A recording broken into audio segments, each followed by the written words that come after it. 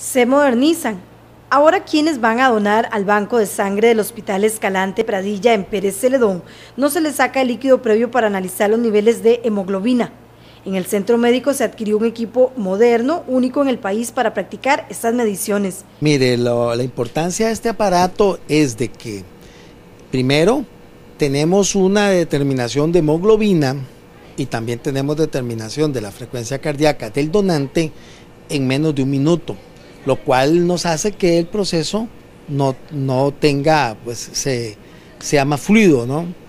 Eh, y algo también de lo más de que es, es una tecnología no invasiva, entonces tenemos una determinación en el donante, en el candidato de donación de sangre, de su nivel de hemoglobina, eh, sin que haya un pinchazo, sin que necesitemos eh, sacarle sangre. El director del banco precisó que anteriormente se tenían que punzar en el dedo. Eh, anteriormente, lo más atrás, eh, obteníamos por una punción capilar en el dedito.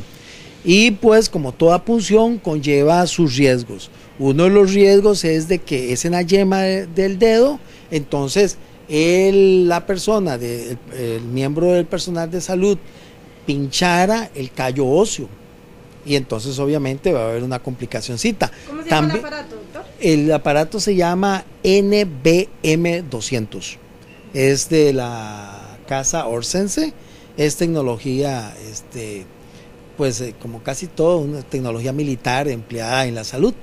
¿Por qué es necesario medir la hemoglobina antes de sacar la sangre del donante? E, es necesario medirle a las personas sus niveles de hemoglobina.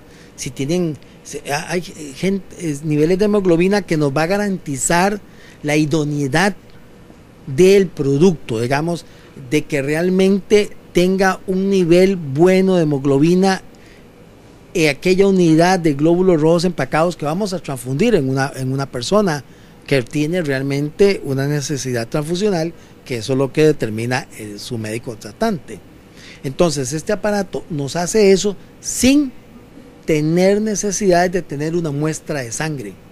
Entonces no se evita el riesgo que tiene el hecho de sangrar a la persona, el riesgo que tiene al funcionario que sangra y no se elimina los desechos biológicos en el medio ambiente nos hace entonces ser un banco de sangre de bandera azul. El especialista precisó que hizo las investigaciones para conseguirlo. Es un aparato único en el momento, está funcionando, yo tengo idea, es el primero y hasta el momento único.